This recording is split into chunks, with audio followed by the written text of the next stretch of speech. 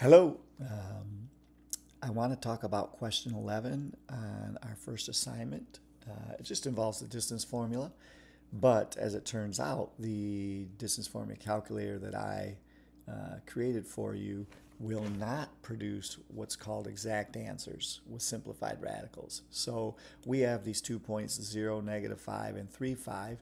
And if you use my Desmos template and type those in, what was it, 0, negative 5, and 3, 5.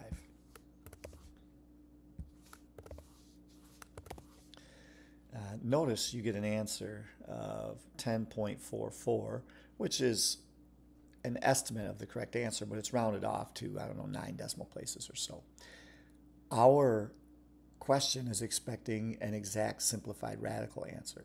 So what I've done is I've uh, put a link in for you to use uh, this radical calculator. And if you go to that link, you can enter the same uh, expression and it'll give you the simplified radical answer. That way, uh, if you're not sure how to do that um, and want to check your answer, you can do that. So you go to where it says enter the problem and you hit the radical symbol. And then for the distance formula, we subtract the x's first. So that would be uh, 3 minus 1. I can't, of course, I can't remember what the numbers were, so let me go check.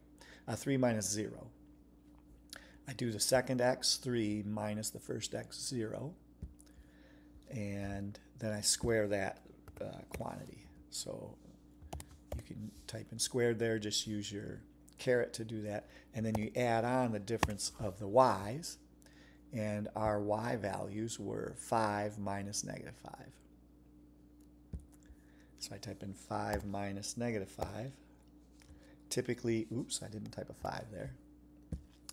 5 minus, when I enter a negative number into a calculator or a computer like this, I always put it in parentheses.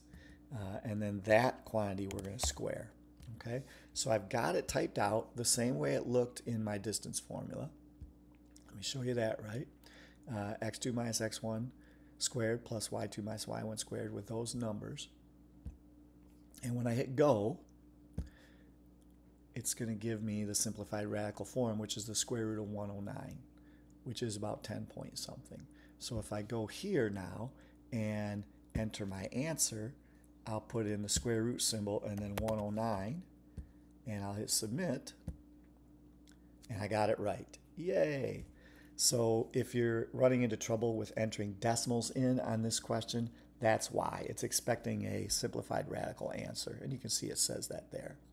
Um, but I, did, I sort of misled you because I um, my calculator only did the decimals, and that was unintentional. Um, so if you need a simplified radical answer, please use the radical simplifying calculator that I'll link uh, right on the uh, My Open Math page, and I'll also put this on Canvas. Okay, I hope that helps, and if you have other questions, keep them coming. Take care.